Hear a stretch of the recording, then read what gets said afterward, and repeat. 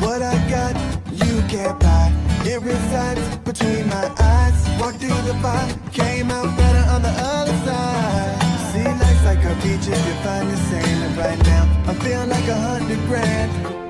You are listening to Inspired Insider with your host, Dr. Jeremy Weisz. Dr. Jeremy Weisz here, founder of InspiredInsider.com, where I talk with inspirational entrepreneurs and leaders. Today is no different. I have Greg Alexander of Collective 54 and Capital 54. And Greg, before I formally introduce you, I always like to point out other episodes people should check out of the podcast. And another previous guest, uh, John Warrillow, uh, he wrote the book Built to Sell. Actually, Greg is a, a great episode on the Built to Sell radio check that one out. Um, Chris Mursau, he's CEO of Top Grading. Um, they, you know, there's some companies use them to hire A players. They have the book, um, you know, Top Grading, uh, which people use as their Bible for hiring A players. So check that out, and many other episodes on uh, InspiredInsider.com. And this episode is brought to you by Rise 25. Um, at Rise 25, we help businesses give to and connect to their dream 100 relationships. Uh, how do we do that? We actually help you run your podcast. We're an easy button for a company to launch and run a podcast. Uh, we do the accountability, the strategy, and the full execution. Greg, we call ourselves kind of the magic elves that run in the background and make it look easy for the host and the company so they can develop great relationships and create great content. You know, for me, the number one thing in my life is relationships. I'm always looking at ways to give to my best relationships. And I've found no better way over the past decade to profile the people and companies I most admire on this planet and share with the world what they're working on. So if you've thought about podcasting, you should. If you have questions, go to rise25.com and Greg has a podcast as well. So you can check that out too. Um, so Greg Alexander, he's the founder of Capital 54. And um, you know, they decide which entrepreneurs to bet on and which firms to invest in. He supports entrepreneurs by helping them scale and exit their firms. And he does so by sharing how he scaled and exited his his own firm. And he's also the co-founder uh, or the founder of Collective 54 Mastermind, community, which helps professional service firms with group and one on one coaching and networking and all of that. Um, and prior to Capital 54 and Collective 54, Greg co founded Sales Benchmark Index, SBI, which is a professional service firm. It served, he served as CEO for 11 years.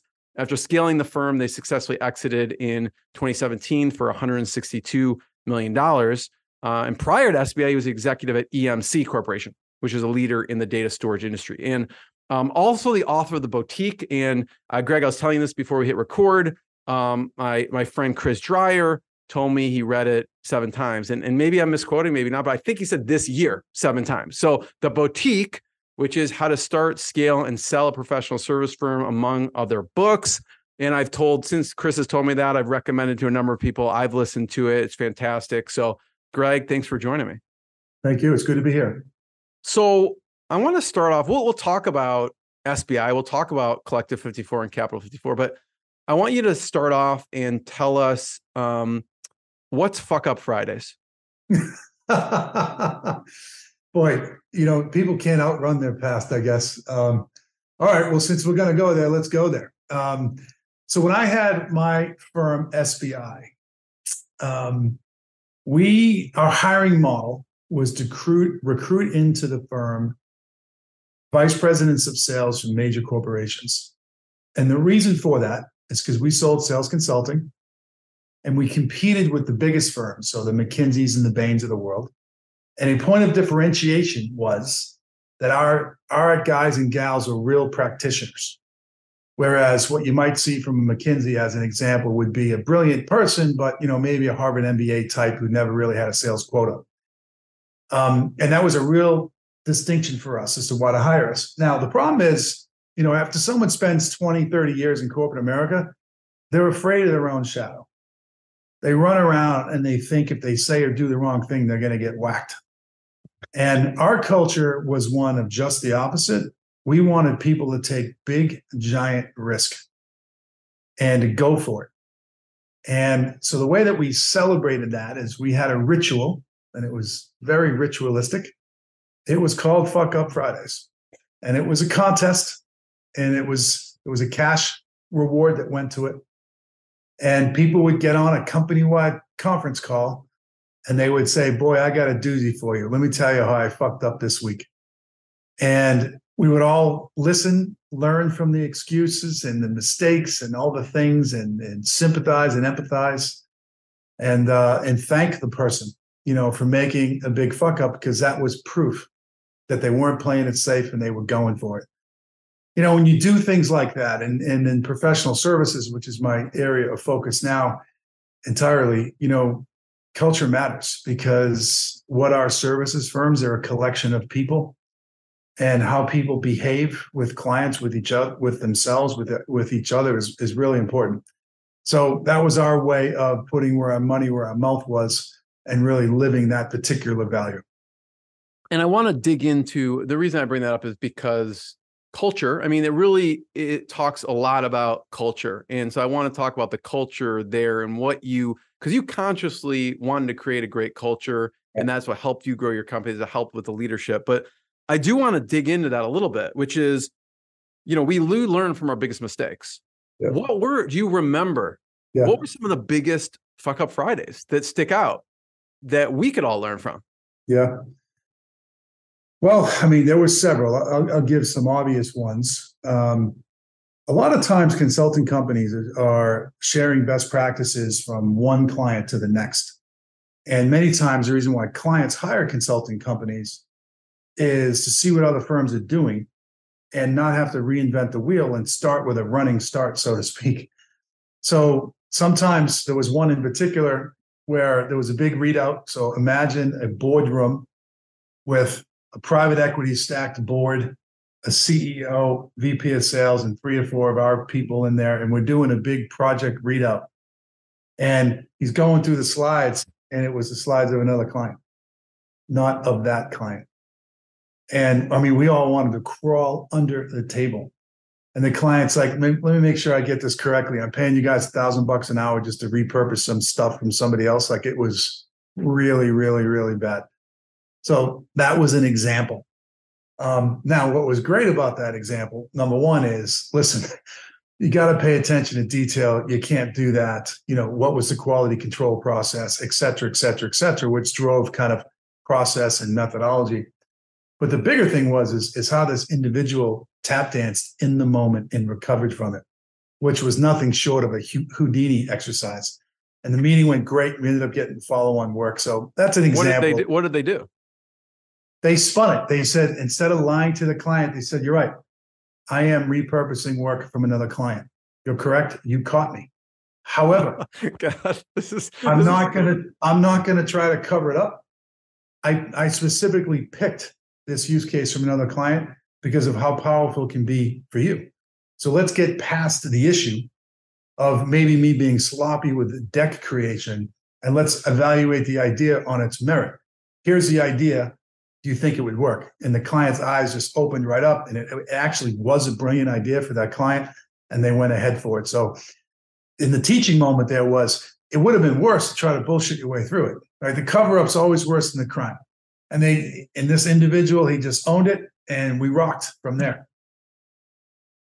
Um i love that. Cover up can be worse than the crime. So what's another one? You, you were going to talk about another one. Yeah so then there were some that were not so great. Um for example we had a guy lying his expense report. So he, he got on the fuck up call and and talked about how he got caught on his expense report. When I mean expense report, I mean expenses he was fi- filing with the client, reimbursable expense, expenses. And then he got caught by the client and it was an embarrassing thing. And and in that case, this was countercultural because we fired him on the spot in front of the entire company when that happened. You know, there, there are fuck ups that are a bridge too far that cross the line. And, you know, and, and that was one. Needless to say, that was a very tense call. Um, you know, we I didn't believe in having HR in my firm which is a controversial subject. You know, and I, I, I literally fired the person right on the spot and took the the uh, legal risk associated with doing something like that. But that even in and of itself sent a message to the team, which is, you know, there are non-negotiables, and that's one of them. And if you do that, you're gone, no hesitation. And what really was terrible about it is this individual that did that was a top performer. I mean, a big biller and a big rainmaker. But you know, we blew him out right there on the spot and I ended up getting sued. Thankfully, we won the lawsuit, and and the client, uh, in the conducted a deposition and participated in the arbitration with me. So why no HR? What what made you make that decision? Well, looking back on it now, I probably would have HR, but you know, I I was like many of our members at Collective 54. I was a first time founder, and I didn't want anybody in the company that sat between me and the culture. I didn't want an arbiter of the culture. I wanted it to be as real as a heart attack. And I have an oversized appetite for risk, even more so back then when I was a younger man. And I didn't really care about, you know, compliance and legalities. And I figured, you know, let's go for it. And if you want to sue me, let's go to war. And uh, that that was the reason why of no HR. and it was it was unnecessary and reckless at times, but that was the reason what else would you have done differently? So you would have you you know looking back, you would have had HR. What else? Yeah. Well, the biggest mistake, you know, you talked about John Warrillow, who I have a lot of respect for, and I was on his uh, his show, Built to Last. And for those who are listening to this, I encourage you to listen to that. John is doing us all a wonderful service with his show. And uh, I made an eighty million dollar mistake. So uh, I, I, sold my firm for 162 million dollars, and, and I don't say that to brag. I say that to say, if I can do it, you can do it. Trust me. Yeah, there's nothing special about Greg Alexander. Um, early on in my company, I gave away too much equity, and when I went to sell my firm, it cost me 80 big ones. So that was a giant mistake. Um, you know, I, I listened to that. Over, do it differently. Yeah, I mean, Greg, I listened to that episode, and um, you know, there's an argument for. I mean, yes, it's an eighty million dollar difference. I, I don't know if I'd categorize a mistake. I mean, you do, but you also attracted great people to your company too. Like, would you have attracted that leadership if you did? You weren't generous with giving that away. I agree. Attracting talent is actually in professional services nothing more important and not being a greedy sob being a generous person is important. But 80 million is a little that's a that's a big step. I probably could have attracted the same people and had achieved the same outcome for 20 million you know instead of 80 million whatever. So but you know it was a yeah there's no doubt that was a huge mistake. But yeah i, I understand what you're saying. I mean because at that point it was equity. It was i mean once you sold it equated to dollars you didn't know it was going to equal 80 million dollars you know? Yeah of course not right? And yeah. and that's and that's the lesson for your listeners you know? If if you're going to bet on yourself bet on yourself because someday your firm is going to be worth a lot of money. So be really careful in the early days before you have to give up a lot you know be really really careful in thinking through that. Yeah. So hr be careful with the equity any yeah. other things that you would do differently looking back? Uh, you know, I would I would have gone a lot faster. And this is something I hear a lot of people say on interviews like this one. And I used to listen to these shows and try to teach myself these things. And I would hear people say this, and it kind of went in one ear and out the other ear. But you know, we, my, our point of view expressed in the book, The Boutique, is that it launched to exits about 15 years there's three stages grow scale and exit and these are three distinctive evolutionary steps requiring different strategic approaches. And about five years in each stage. Now i started my firm in 06 and sold it in 2017 so that was 11 years. The reality is i probably could have got it done in like seven or eight. Um, and i'll give you some tangible examples to put meat on this bone. You know there were there were times where i had made people decisions and i knew it but i carried them for a while.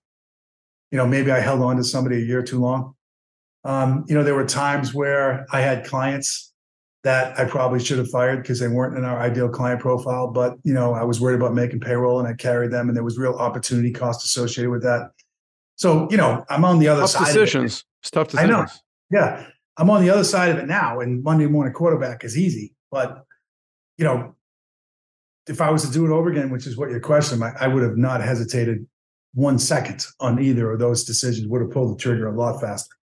It sound, sounds like at times you did pull the trigger fast. It just yeah, depended. Um, in extreme cases.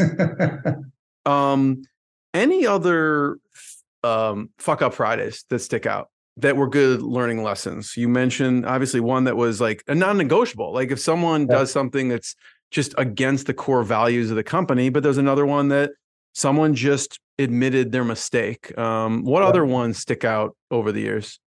You know, other ones that were really instructive were blown opportunities, lost deals.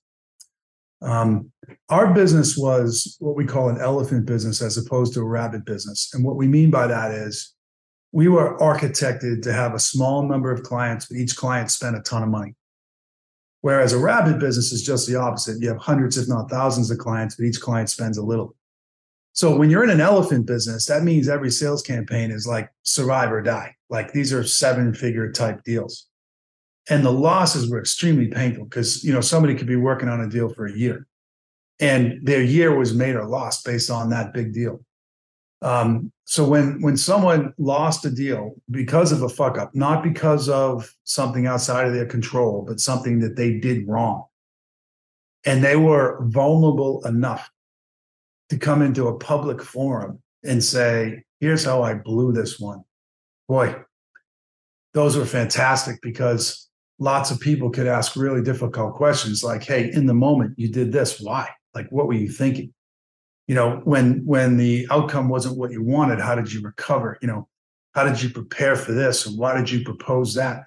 When you were competing with this firm you know like what was your strategy to win? Like it was there was it was so rich you know those lot we call them loss reviews they were incredibly powerful and, you know now that i talk it out with you i probably would say that those were my favorite What do you remember one? A blown one? uh yeah i'm, I'm gonna obscure the client's name Yeah, that's fine. Obs- Um, Obscure everyone's name. yeah There's- yeah. There was there was a a probably at that time the fastest growing company in the world. Um, they were in Silicon Valley, and they were a consumer focused company. And for the first time, they were becoming a business to business company. And we caught a huge lucky break, and that one of our former clients was hired as a chief revenue officer. And like on day two in the job, he called us and said, "Come on in, I need your help." And uh, we thought we were all that in a bag of chips, and we went in there with a huge proposal and didn't appreciate the fact that he had a reference point from previous work on what our prices were. And uh, caught us speeding, trying to charge too much, and we lost the deal. And that deal would have put us on the map in ways maybe would even have made our firm a household name.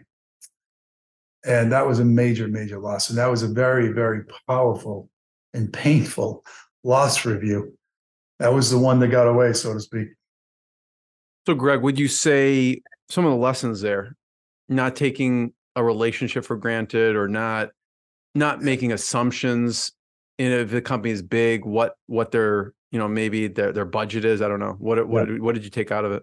well all of those yes but I- i think there's a theme that sits on top of those and that is this was the heyday of our firm and we we, we were really crushing it and uh and we and I'm, I'm in this bucket. We got arrogant. And and we lost the scrappy you know startup mentality and we started behaving like the big guys on the team. And we got kicked right in the teeth and we deserved it. That that's what happened there. You know, I was listening, and you were also on uh, John Corcoran, my business partner's podcast, Smart Business Revolution, which was great. Um, and he he said something to you about it's very meta, right? Your sales process is you're teaching and you're helping people with Yeah, exactly. sales. yeah What was your sales process like at that time? Well, it was complicated. The first thing was it, it really wasn't a sales process. This is what's intriguing about it. It was more of a buyer process. So the belief that we had is that services are bought, they're not sold.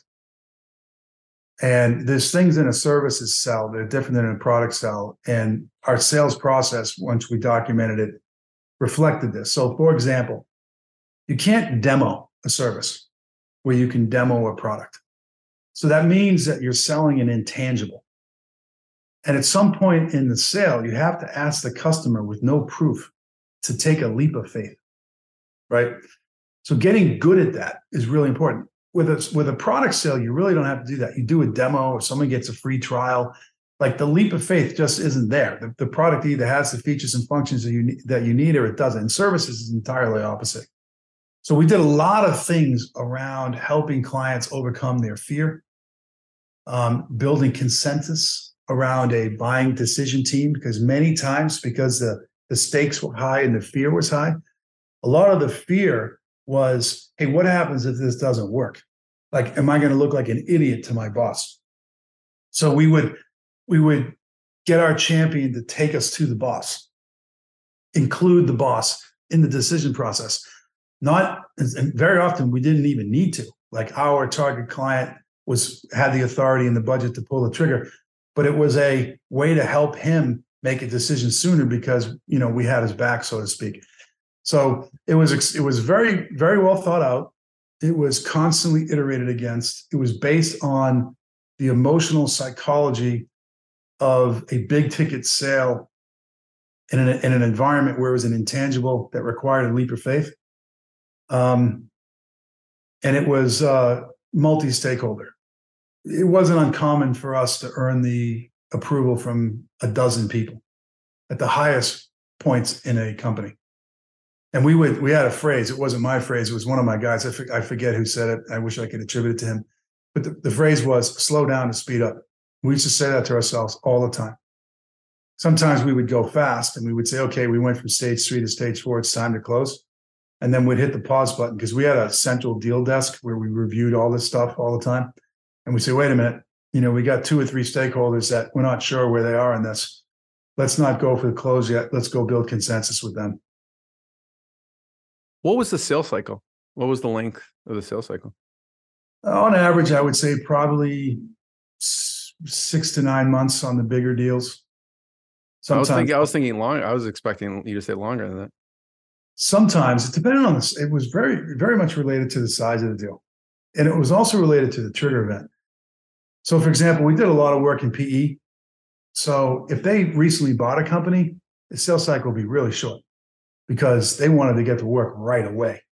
Um, if we were doing work with a big Fortune 500, like I remember back in the day, uh, Hewlett Packard was doing the largest Salesforce.com implementation in the world. It was like 20,000 sales reps. And, you know, we were hired to help them with that. You know, that, that sales cycle took like two and a half years. It depended on the trigger event mostly, the length of the cycle. Like, what was the urgency?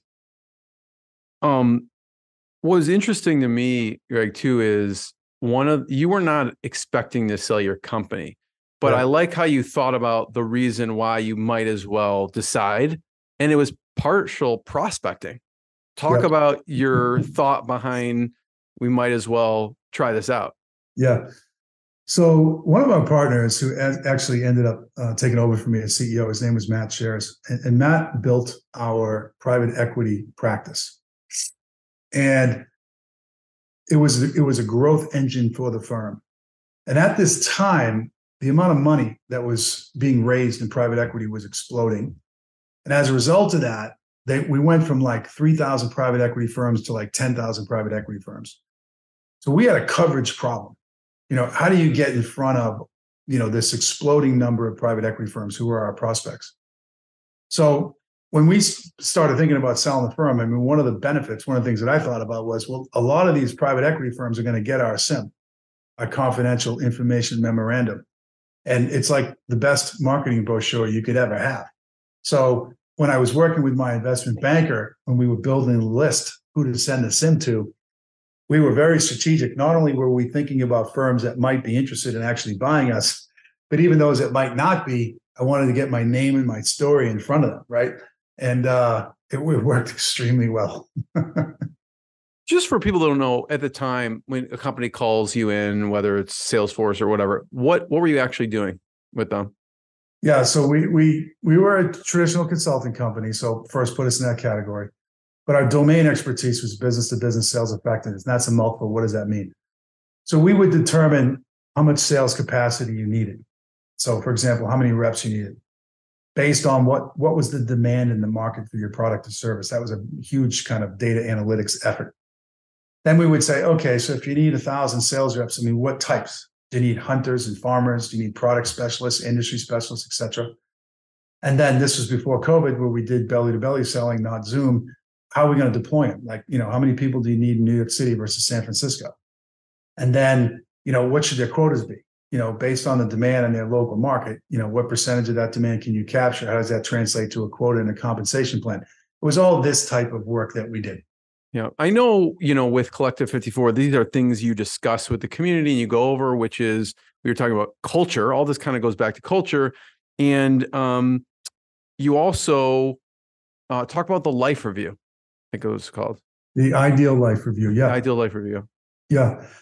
So, I mean, this is a cultural uh, component as well. So, when you're hiring these VPs of sales in these big corporations, it's tough to hire them because they've got big jobs with big pay packages and they got a fancy logo on their business card and you know they can go to the christmas party and you know grandma and grandpa are bragging about you know hey johnny works for google right meanwhile they go to work for sbi and no one ever heard of sbi and it is, it's like a shot to the ego so we had to come up with an employee value proposition so think of if for those that are listening think of what your customer value proposition is you know why would a, what's the problem the customer has why is your solution the best for it and how much does it cost so an employee value proposition is the same thing. So why, you know, this big shot VP of sales, like what is he unhappy about? And if he comes to work for me, how do I solve that? And and if I do solve that, like how does that show up in his life in, in real dollars and cents and also, you know, qualitative terms? So the way that we would quantify that is we had everybody do what was called the ideal life exercise. So we said, if you had a perfect life, what would it look like? And there were several dimensions very simply like where do you want to live um, you know what type of people do you want to work with um, do you want to travel um, how much money do you want to make uh, what kind of music do you like? You know all, all kinds. It was very comprehensive. And inevitably what would come out of it is people would say you know i'm 45 years old. 25, 25 years into my career. I got 20 years left. And yeah, I've had some success when, you know, measured in material things, but I'm really not that happy. Uh, I'm not that fulfilled. You know, for example, I got three kids in middle school and I never get a chance to go to their football games because I'm on the road. Right. We would hear things like that. So then we would say, all right, well, how can we design your job? And this is the benefits of being in a small company. How can we design your job in such a way to get you as close to that ideal life as possible? Excuse me fully knowing that you know we can't solve all the world's problems, but maybe we can contribute. So, for example, before it became cool to work from home, we everybody worked from home at at uh, at SBI, and the reason for that is we said, listen, you're gonna you're gonna travel a lot. So when you're not traveling on behalf of clients, it makes absolutely no sense to force you to go to an office. You know, when you are home, be home and go go to your kid's ball game. You know, and if that ball game is is Tuesday afternoon at two o'clock, we don't care you can make up for it, you know, Sunday morning at 10. Like it doesn't matter to us. So we had a tremendous amount of flexibility and that that employee value proposition. Another huge one was is we didn't care where you lived. We hired this one guy, his nickname was Heater, because he was a chain smoker. He was one of my favorite guys. And he was living in Florida, but he was born and raised in Nebraska, of all places. But Nebraska at that time, maybe even now, wasn't a great job market. And he really wanted to move back to Nebraska, but he couldn't find a job. And the reason why he came to work for us because he we didn't care. Go ahead and move to Nebraska. As long as you got an internet connection and you're willing to get on a plane when you need to, live wherever you want. So that's what the ideal life was all about, and that's how it, it helped us build our firm. Yeah, thanks for sharing that. Um, I want to talk about. I like how you talked about. It's not the sales process, but it's the buying process, and um, what that looks like for Collective Fifty Four. The buying process. Yeah. Yeah. So what happens? So first off, let's talk about our target client. So our, our target client is a founder, typically a first-time founder, like 90% of the time, whose psychological profile is they had enough courage to start their own firm. And they're past the startup stage. So they're not worried about survival. But they're wondering, I've got this successful lifestyle business, but I want more than that. I want to move from having a practice to having a firm. And I want it to be something bigger than me. And someday down the road, I want to be able to sell it. That's a very specific person. There's approximately one and a half million professional services firms in the United States that meet our demographic profile, which is in pro serve between 25 and 250 employees, but a far fewer number of those that meet that particular profile. Lots of people in pro serve are happy with a lifestyle business. We're looking for people that have big aspirations. So the buying process for those people is very specific. You know, for example, how do they even become aware of Collective 54? Well, somebody with ambition like that tends to be a learner, someone who educates themselves. So, what did I do to attract them? Well, I wrote a book. Why did I write a book? Well, learners read. And we spent money on getting that book out there on Amazon with a marketing agency. And as you mentioned at the top of the show, people read the book and they love the book and they become members. That's an example. And that little example is a is a good one for our show today because it illustrates how you start with the buying process first. Like we identified ambitious people read. Like that's what they do, not what we do. So we want to meet them where they're at. So therefore, I wrote the book where do they buy books? They buy books on Amazon. So we showed up in Amazon. So we were matching our selling process to the buying process. Now, just because somebody reads a book doesn't mean they're going to say, sign me up. So they're going to come to the website. That's, we know this. That's the next thing they do. Like our audience doesn't go to Facebook, doesn't go to X, had, used to go to LinkedIn, doesn't anymore because it's so crowded now. They, yeah, they come to the website and they start pecking around. And what do they want to know? Well, as you can see in the main nav, they want to, the very first question when you're selling a membership to a community, it's not what you do first, it's who are the other members. So the very first thing in our navigation is who we serve. And then do they see themselves in that or not? You know, am I in North America? Do I have between 10 and 250 employees? Am I a bold, determined founder? Chomping at the bit to scale, etc. And they poke around on the website. Then they then they want to engage with more content beyond text. So a lot of them are podcasters. Why? They're learners. So we have the ProServe podcast, which is doing well. And we feature members on the ProServe podcast, very similar, Jeremy, to what you guys do. And that they can hear members now, not just read members. They can hear the members talk. It's once people put those little white earbuds in their ears, it's a different experience. It becomes more intimate. Then our target spends a lot of time on YouTube. So we've got a YouTube channel. And then they want to try before you buy. So we invite them to be a guest in a member session. So these are some of the things that we do. This is how they buy and what we do in response to that. Because if you remember what I said earlier, and it's worth repeating so we can underline it, is Services are bought, they're not sold. So the job of somebody in services is to be a helpful facilitator of somebody's decision making process. The minute you try to sell, it's a turnoff. Talk about, you know, I'm looking at the, and by the way, if you're listening to the audio of this, there is a video and we're showing the collective54.com page. You could check it out there um, and I'm on how we do it, right? And yeah. I'm just curious from the first starting Collective 54, what it was in the beginning. And I'm sure you've added things because you got feedback from people they wanted whatever it is. Talk about some of the things that I'm looking at here and how this was implemented because maybe feedback from the Collective 54 group. Yeah. Well, here we we got really lucky, and that is we're standing on the shoulders of giants. So the community business model has been around a long time. And there's people in our space like EO and YPO and Vistage that have been mastering this method for a hundred years. No lie. I think I think YPO is hundred years old or something like that. And they have, you know, 50,000 members, crazy. And all mastermind communities, ours and everybody else's, in our last um, look is that there's a little over 600 of them in the United States now. They all have six core features. Now, how you color these features and what these features mean to you might be different, but they have six core features, and here's what they are. So the first thing is you got to have a network.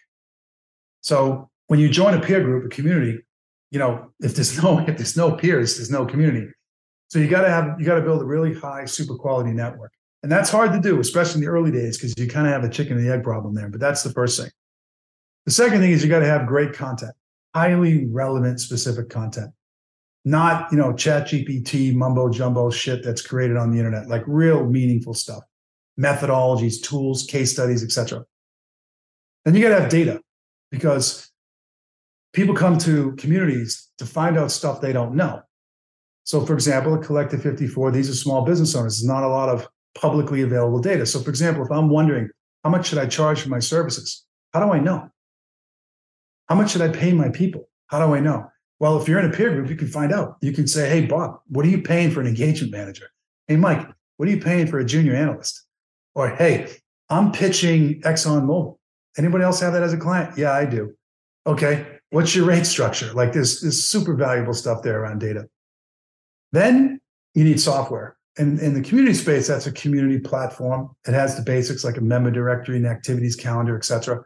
But what gets really interesting in the um, community platform is the communication between the members in the platform. You know, you can see these really interesting threads. Then you need coaching. Coaching comes in many forms. Like, for example, we have mentors and mentees. So these are members coaching each other. We have group coaching and cohort orchestrated 90 day sprint learning sessions. We have one on one coaching. So, for example, I play that role sometimes. People would like to have time with me. And we have office hours, kind of like we had when we were in college and university. And then the sixth and final thing is you have to have events, which these days are a blend of virtual events and in person events. So, what happens when you become a member is each one of our members gets onboarded. And in the onboarding process, we build a personalized journey for each member based on you know who they are and what it is that they're trying to get done. And then we support our members with what we call a, a member success manager, kind of like a customer success manager in the software space. And we're we're monitoring the use of the membership and we're conducting quarterly business reviews with each member to make sure that they're getting what they need. So that's kind of a very high level, 30,000 foot view of what people get and kind of what the journey is.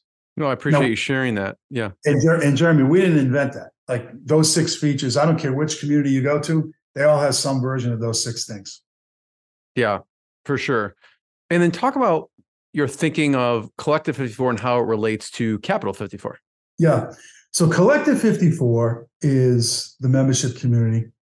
And at times, um, some of those members are doing very, very well. And in order to, for them to reach their full potential, they need growth capital. So they become the pipeline to my family office, which is Capital 54. So, for those that don't know what a family office is, a family office is just like a private equity fund with one exception and that is the families investing their own money versus investing monies from limited partners. So that's what Capital 54 is. The money that I made at EMC and the money I made at SBI is the capital that we invest there.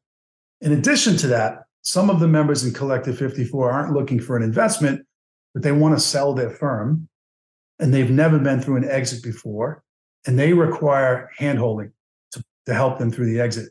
So Capital 54 also provides that advisory service to help them do things like figure out who they might want to sell their firm to, what it might be worth, what the terms might be, um, how to pick an investment banker or a business broker, an M&A advisor, you know, how to negotiate an LOI. There's all kinds of things that people need to know, you know, in order to exit. So those are the two services that um, Capital 54 provides. Talk about criteria, right? Because investment you know, criteria yeah, investment criteria. Yeah. Yeah. You're like, you know what? Who do we decide to fund or not fund? Yeah. So there's there's two categories of criteria. And the easiest way to think about it is you have the founder and you have the idea. And the debate always for an investor is what do you back? Do you back the idea? Do you back the founder?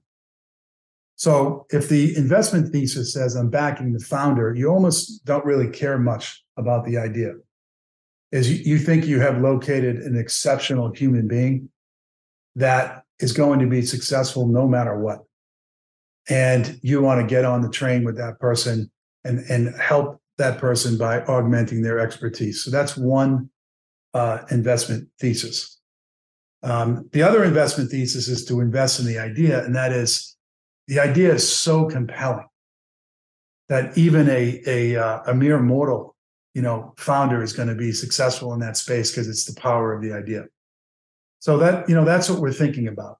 Um, you know, there are some other dimensions. You know, for example, I mean, I'm not a billionaire, right? So it's not like I'm writing hundred million dollar VC style checks. So size is is a, a consideration. Um, the stage of the firm is a consideration. You know, we we tend to invest post startup but pre scale. You know, the startups are a little too early for us. Um, but if they're mature companies, it's a little too late for us, as an example. I only invest in services firms. You know, Warren Buffett taught us this concept of circle of competence, which simply says invest in what you know. So I'm only investing in services firms. So these are some of the criteria. Um, is there one that you don't have to name names that you could talk about, and as you think of them, um, maybe to some people it, it was they wouldn't have invested in it, but you did because of whatever reason. Yeah, you know there is one where I, I lost money. maybe that's a good one. Back to the earlier part of our conversation. This will be uh, fuck up Wednesdays with uh, where you lost money. yeah. So um, there was a person that I wanted to bet on. And this person was a giant in his field. And he had an idea. And the idea was to build a membership community to support the 7 million executive assistants in the world. And that these executive assistants, the difference between the good ones and the bad ones is r- really large and that the CEOs that have a killer executive assistant tend to be a lot more productive. So the the pitch there was is you were going to sell to the CEO, you know, hyper charging this executive assistant, and then he would get a substantial buyback of time. And I just thought it was a great idea, and I thought this individual was a great individual. So I, I wrote a check. I put three hundred and seventy-seven thousand dollars into that business not a huge check, but enough to, you know, catch my attention. And then he recruited his uh, former executive assistant to be the leader of this business. And the business got off to a pretty good start, and then it started to stall a little bit, and we ran into our first adversity, which, by the way, happens in every startup journey under the sun, right? And instead of buckling down and saying, "Hey, Greg wrote a check here, you know, I've got to get his money back before you know I make any decisions," he just quit. And so now all of a sudden, I go from owner to operator of an executive assistant business, which is not where I wanted to be spending my time. And he abandoned, you know, this person that he recruited in. Um, so I ended up selling the business at a steep loss uh, to her, and she's still running the business right now. And from what I understand, she's making a go of it. But you know, that was an example of I made a decision to bet on the person, and he was the wrong person to bet on. How do you assess then, you know, in this case, adversity, right? Like you said in a yeah. business.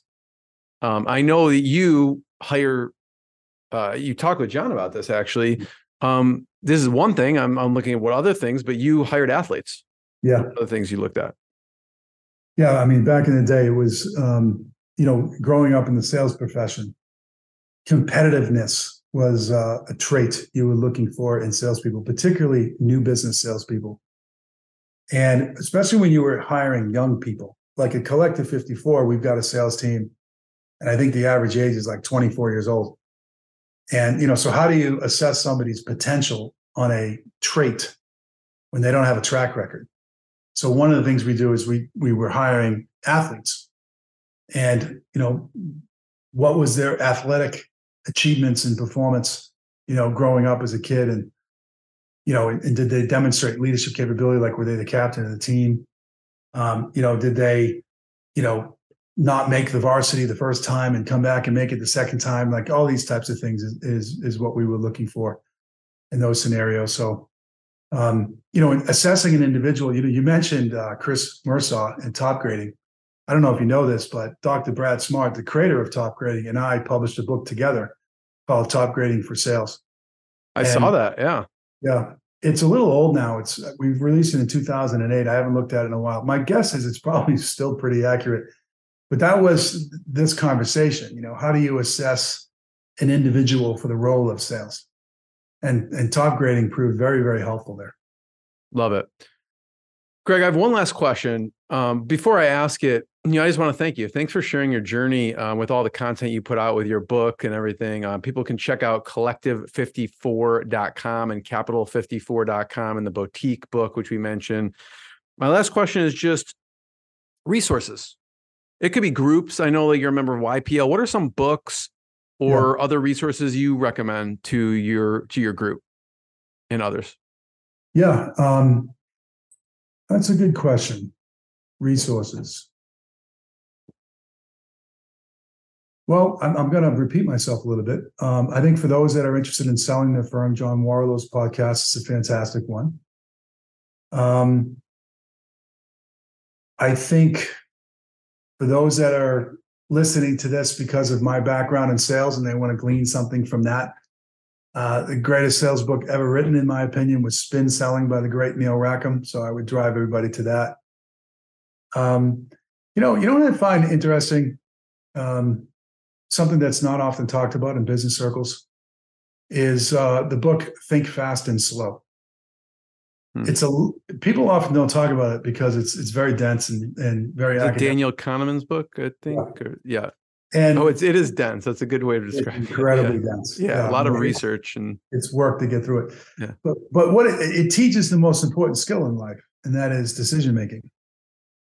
We all eventually our lives are the sum total of the choices that we make.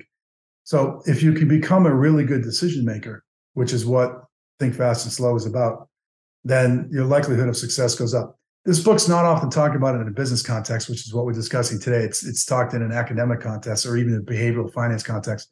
But that's one that I would point everybody to. And then, of course, the, all the podcasts that you guys do and just the podcasting world in general. Um, you know, I, I love listening to podcasts. I, I listen to them all the time. Even I find myself uh, entertaining myself through podcasts. I'm a big fan of Tim Ferriss's podcast. I love Joe Rogan's podcast. You know, those are some of the obvious ones. Any other favorite selling books? You mentioned spin selling. Any other favorites people should check out that you have? Yeah, there's another great one from a friend of mine, Frank Visgatis, called Customer Centric Selling. Um, it's really good for software companies in particular, and it's it's more on this concept that I mentioned earlier about putting the customer at the center of the sales process and understanding how they buy. That's a really good one. Um, one to avoid, in my humble opinion, is the Challenger sale. Um, you know, that got a lot of press, but to this day, I, I'm still not sure that got implemented well in a lot of places. And it had less to do with the theory in the book. The theory was very sound, and the authors did a really good job presenting it. But it required some dexterity in the implementation. You know, the idea was to go into a client's office and challenge them right? Well, if you don't do that right, you can be labeled a jerk in a hurry. So that would be one maybe to proceed with caution on. Cool. Greg, thank you. Capital 54, Collective 54. Check out more episodes of the podcast. And thanks, everyone. Thanks, Greg. Okay. Thanks, Jeremy. What I got, you can't buy. It resides between my eyes. Walked through the fire, came out better on the other side. See, life's like a beach if you find the sand right now. I feel like a hundred grand.